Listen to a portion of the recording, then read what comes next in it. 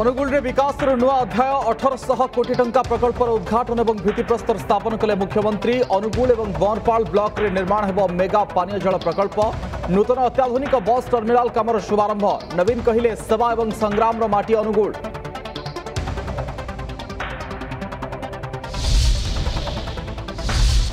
अनुगुल जिलार महिला हे आहरी सशक्त मिशन शक्ति दुई बयालीस कोटी टं ऋण डिजिटाल लंचिंग कले मुख्यमंत्री बिना सुधरे ऋण पाइबे एसएसजी बीएसकेवैर सुविधा पाँच लक्षाधिक लोक नर्ष उपहार नवीन को जिलावासी देले धन्यवाद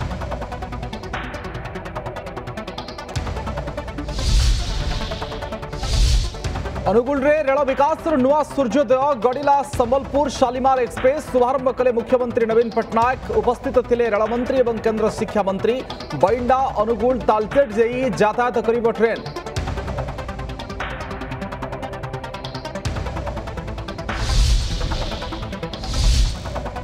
ଜାନୁଆରୀ ଚାରି ତାରିଖରୁ ଭିତରକନିକା ବନ୍ଦ ଦଶ ଦିନ ପର୍ଯ୍ୟଟକଙ୍କ ପାଇଁ ବନ୍ଦ ରହିବ ଜାତୀୟ ଉଦ୍ୟାନ କୁମ୍ଭୀର ଗଣନା ପାଇଁ ବନ ବିଭାଗର ନିଷ୍ପତ୍ତି ରାଜନଗର ବନଖଣ୍ଡ ଅଧିକାରୀଙ୍କ ସୂଚନା ଗତବର୍ଷ ଚିହ୍ନଟ ହୋଇଥିଲେ ସତରଶହ ଚଉରାଶୀ କୁମ୍ଭୀର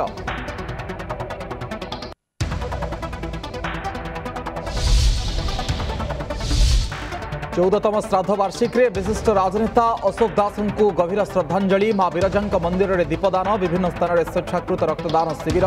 दशरथपुर ब्लक तीन सौ पचास यूनिट रक्त संग्रहित चैनपुर में चौदहतम Ashok Das memorial cricket tournament आरंभ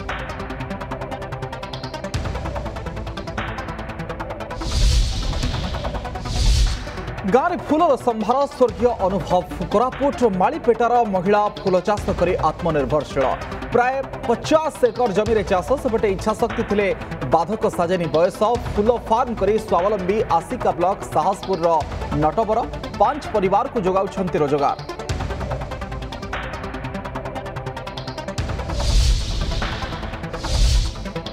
मकर संक्रांति बढ़ुची मुआर चाहिदा चलचंचल मुआ प्रस्तुतिर पेंठस्थी गंजाम जिलार आसिका पंदर अधिक फैक्ट्री में भली कि भली मुआ प्रस्तुति में लापड़ कारीगर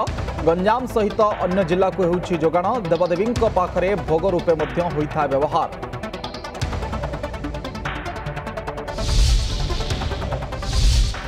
ଧରଣୀରୁ କମିବ ପାପ ଭାର ପାପୀଙ୍କୁ ନାଶ କରିବାକୁ ଜନ୍ମ ନେଲେ ଭଗବାନ ଶ୍ରୀକୃଷ୍ଣ ବରଗଡ଼ ଧନୁଯାତ୍ରାର ତୃତୀୟ ଦିନରେ ନନ୍ଦୋତ୍ସବ ନଗର ପରିକ୍ରମା କରି ଅମାନିଆଙ୍କୁ ଦଣ୍ଡବିଧାନ କଲେ ମହାରାଜ କଂସ କୃଷ୍ଣଙ୍କୁ ମାରିବାକୁ ଗୋପକୁ ଯିବ ପୁତନା ରଙ୍ଗମହଲରେ କଳାକାରଙ୍କ ନୃତ୍ୟ ପରିବେଷଣ